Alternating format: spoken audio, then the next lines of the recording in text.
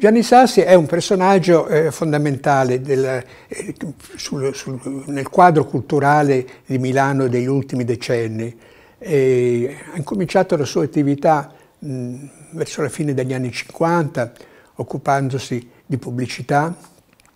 e poi eh, di, eh, praticamente eh, insieme a un gruppo di amici, Gino Di Maggio, Gianluigi Simonetti e altri, ha costituito un, un gruppo che eh, aveva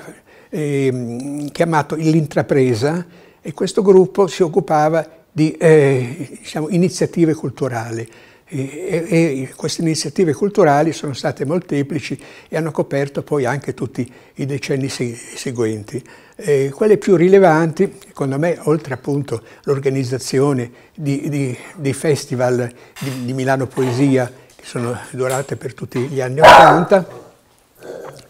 eh, c'è stato anche l'impresa della casa editrice discografica Krams che ha pubblicato non solo quello che erano il, il rock degli anni 70, gli aria specialmente, ma anche tutta una collana di, eh, music, di musicisti eh, contemporanei, da Cage a Boulez, Kagal, eccetera. Ora, il, diciamo,